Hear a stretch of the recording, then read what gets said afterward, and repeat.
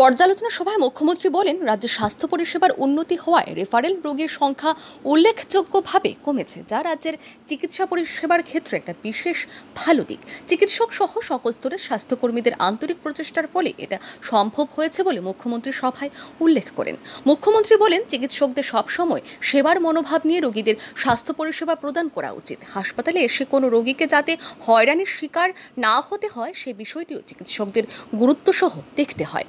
কারণ মানুষ চিকিৎসকদের একটা বিশেষ সম্মানের চোখে দেখে।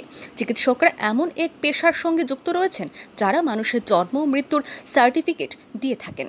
আগরতলা সরকারি মেডিকেল কলেজটি দেশের যে কোনো মেডিকেল কলেজের তুলনায় কোনো অংশে কম নয়। এই কলেজের সুনাম আরও বৃদ্ধি করার লক্ষ্যে প্রফেসর, চিকিৎসক সহ সকল স্তরের কর্মীদের আন্তরিকভাবে কর্তব্য পালন করতে হবে। বৃহস্পতিবার আগরতলা সরকারি মেডিকেল কলেজের শোভাকক্ষে আগরতলা সরকারি মেডিকেল কলেজ ও জিবিপি হাসপাতালের বর্তমান অবস্থা ভবিষ্যৎ সম্ভাবনা নিয়ে আয়োজিত পর্যালোচনা সভায় মুখ্যমন্ত্রী ডক্টর মানিক সাহা কথা বলেন।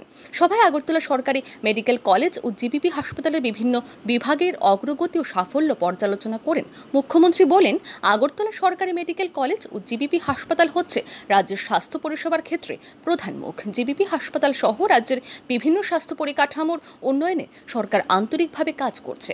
জিবিপি হাসপাতালের স্বাস্থ্য পরিষেবা প্রদানের ক্ষেত্রে কোনো ধরনের সমস্যা দেখা দিলে তা দ্রুত সমাধানের উদ্যোগ নিতে হবে হাসপাতাল কর্তৃপক্ষকে। পর্যালোচনা সভায় মুখ্যমন্ত্রী আরও বলেন, হাসপাতালে রোগীদের চিকিৎসা পরিষেবা প্রদানের ক্ষেত্রে কোনো ধরনের গাফিলতি সরকার বরদাস্ত করবে না। এক্স রে সিটি স্ক্যান সহ বিভিন্ন পরীক্ষা নিরীক্ষার রিপোর্ট যাতে রোগীরা দ্রুত পেতে পারে, সে বিষয়টি গুরুত্ব দিয়ে দেখতে হাসপাতাল কর্তৃপক্ষকে নির্দেশ দেন মুখ্যমন্ত্রী।